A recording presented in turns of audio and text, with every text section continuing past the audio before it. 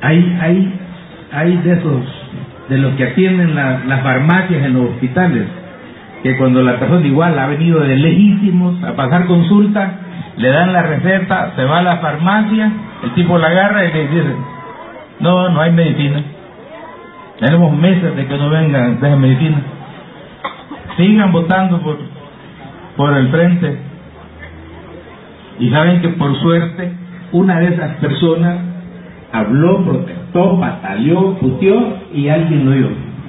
Y le hablaron a la, a la Violeta. Y averiguaron si había medicina. Pero los comenzamos una, una cosa sencilla, sencilla, pequeñita, insignificante, pero se va acumulando en el corazón de la gente de que nosotros somos ineficientes y que somos insensibles. Miren, compañeros, esos hijos de puta no tienen por qué estar en los cargos del gobierno, hay que echarlos a la muerte.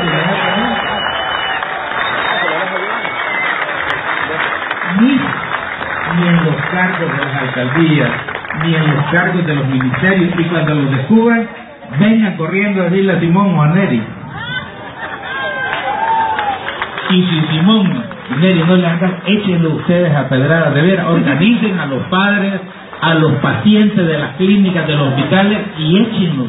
Esa gente no tiene por qué estar en esos cargos. De veras, hermanos. Esas son, esa es nuestra opinión.